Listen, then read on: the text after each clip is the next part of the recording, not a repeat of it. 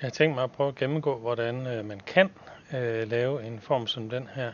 Øh, det vi skal forestille os, det er et øh, ventilhåndtag, øh, som man kan dreje på. Det kunne være sådan en stor vandledning, eller altså vandrør eller noget, den kunne sidde på.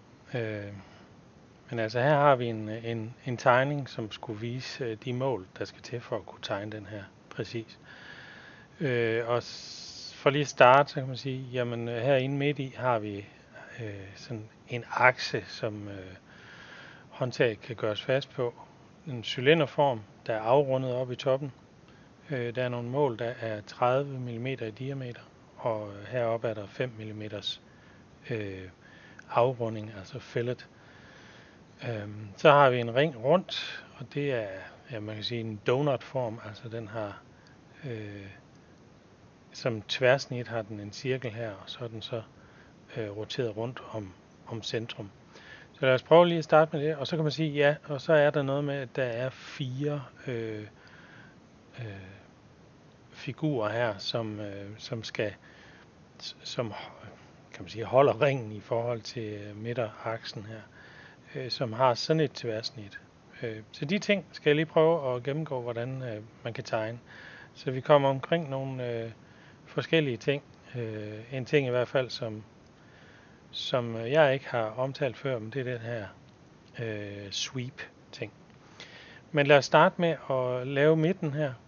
Øh, og tænker, det er øh, tegner på, kan man sige, bordet, øh, og så tegner, trækker en cylinder op og afrunder den. Og så derefter skal vi i gang med at tegne det her tværsnit. Så lad os starte her. Start en sketch. Øh, tager lige og vender rundt. Øh, start en sketch her på bordet, eller hvad man skal kalde det. Tager en cirkel. Trækker den ud til 30 mm. Og færdig med den sketch. Extrude op i 40 mm. Og lave en fillet på kanten her på 5 mm. Sådan. Det næste vi så skal i gang med, det er, det er ringen øh, herude. Og lad os lige se fra bunden, altså vores tegneflade, og op, der er der 50 mm, og øh, fra centrum her, altså Z-aksen kan man sige, som vi har tegnet op af i forhold til en 3D-printer, så er det smart at tænke Z-aksen opad. Der har vi 100 mm ud til det centrum, og Øh, diameteren her er på 20 mm.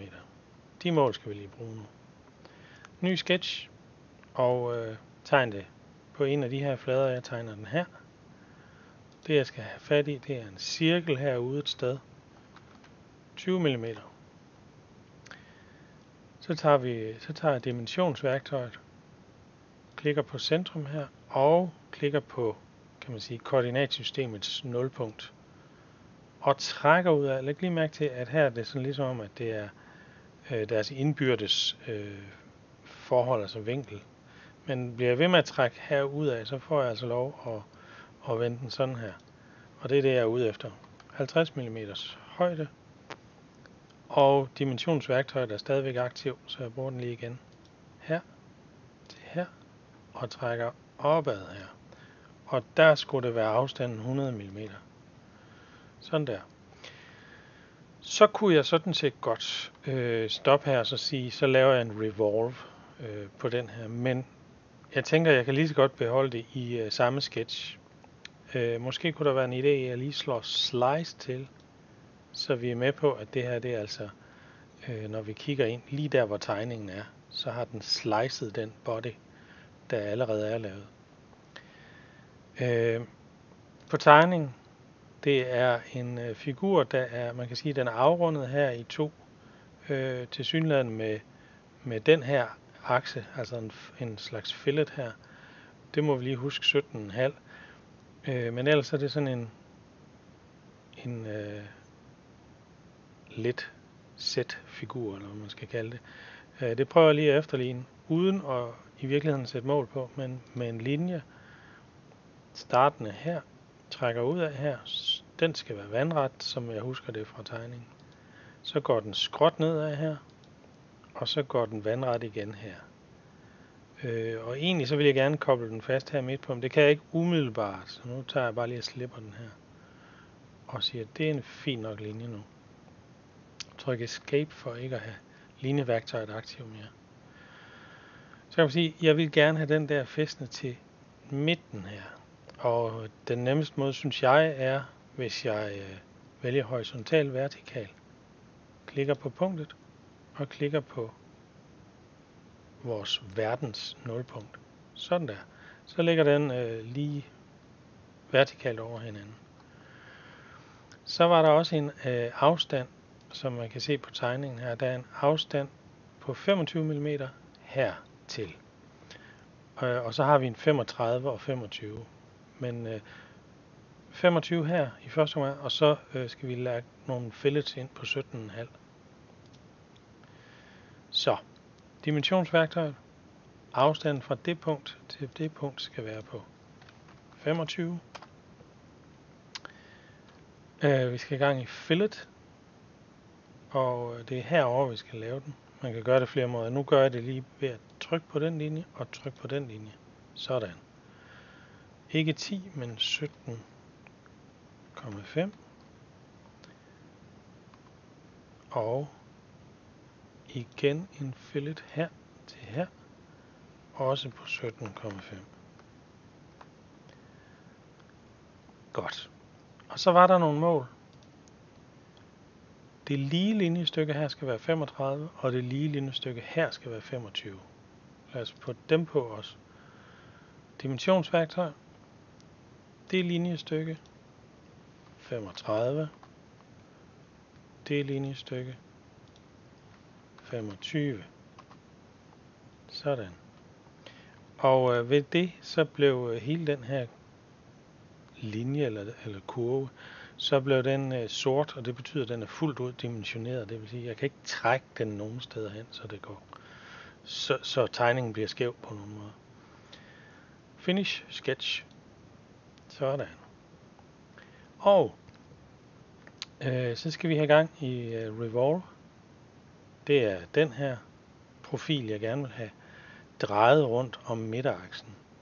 Se, nu øh, er det lidt svært at få fat i midteraksen, fordi den sidder inde midt i en body. Jeg kan gøre det på flere måder. Jeg kan slukke body, jeg kan hvad jeg nu vil, men jeg kan sådan set også bare sige, jamen det er også rundt om, kan man sige, om den her. Det er stadigvæk rundt om z-aksen. Så det øh, trykker bare på et eller andet. Og så fik jeg den donut-form, jeg gerne vil have. OK til det. Se, i det øjeblik, vi har brugt øh, Sketch en gang, så slukker den af sig selv. Men øh, jeg skal bruge den mere, så jeg tænder den lige igen her. Og så tænker jeg, at jeg vil godt slukke min første body her, fordi nu skal jeg bruge den her linje, eller sti, som vi kommer til at kalde det. Øh, men inden jeg har, inden da har jeg brug for at lave en, øh, øh, hvad hedder det, en ny sketch, som faktisk skal sidde på den her path. Jeg, jeg skal være helt sikker på, at den sidder præcis på den. Så derfor så vælger jeg herinde og sige plane along path. Og så skal jeg vælge en path, altså en sti. Og det får jeg lov til her. Og den kan I se, den kan man øh, køre op og ned. Det er sådan set lige meget, hvor jeg placerer den henne, men for god ordens skyld, så tager jeg lige og kører den her ud for enden. Trykker OK. Og så vil jeg lave en sketch på den. Øhm, det gør jeg her. Og det jeg så skal have lavet her, det er denne her form. 18 høj, 13 bred og centrum 9 her. Og øh, jeg prøver at lave den med linjeværktøjet og laver den øh, ikke her lige rundt om midten, som den skal være i første omgang. Der vil jeg gerne flytte den til bagefter. Så jeg tegner den lige hernede. Tegner et linjestykke, der går lodret op.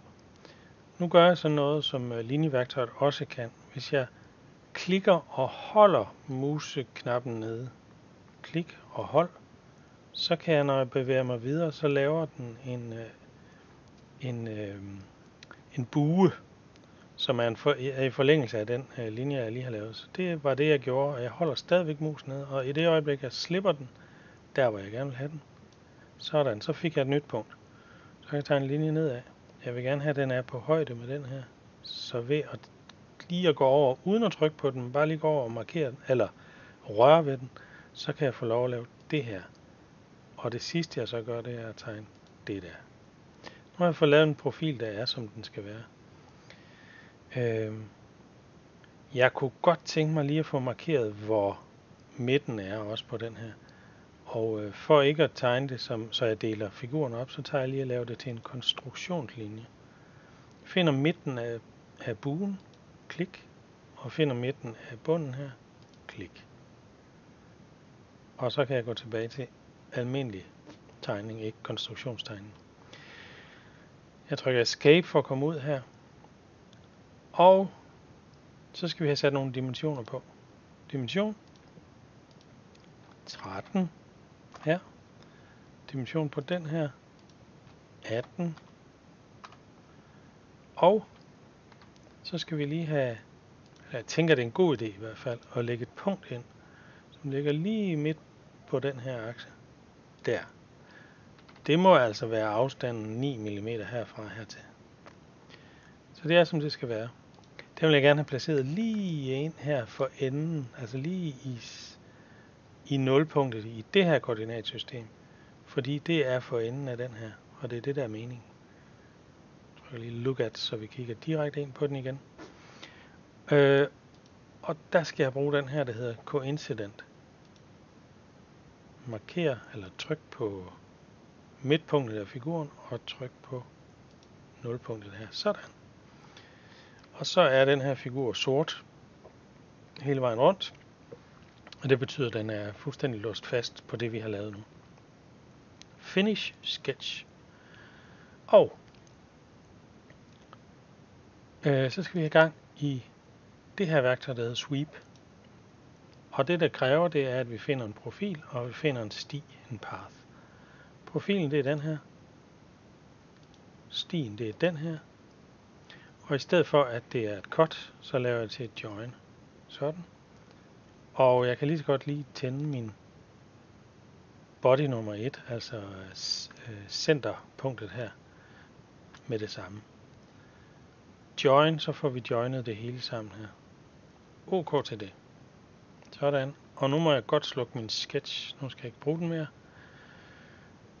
Øh, ja. Så mangler vi ikke så meget.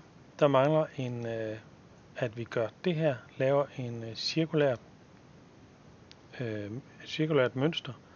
Jeg har valgt øh, typen features, fordi det gør, at jeg kan gå herned i tidslinjen og så sige, det er lige præcis den feature der, jeg vil gerne have gentaget. Rundt om en akse, og igen så kan jeg vælge det her, der, der ligesom øh, markerer Z-aksen. Sådan og jeg skal ud fra tegningen og dømme, så skal det være fire stykker, jeg skal have lavet her. OK til det, og så er tegningen sådan set færdig.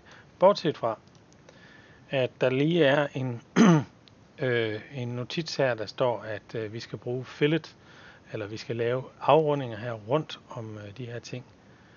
Der hvor de øh, møder de her spokes, øh, hvor de møder hjulet eller donuten her rundt, og hvor de møder den her.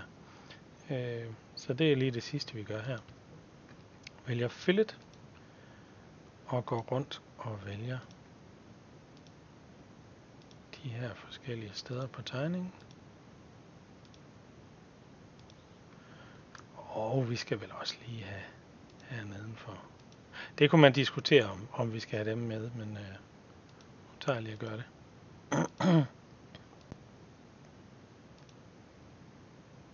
Sådan. Og så skriver jeg 3. Og så er det blevet lagt fillet ind, når jeg trykker OK. Sådan.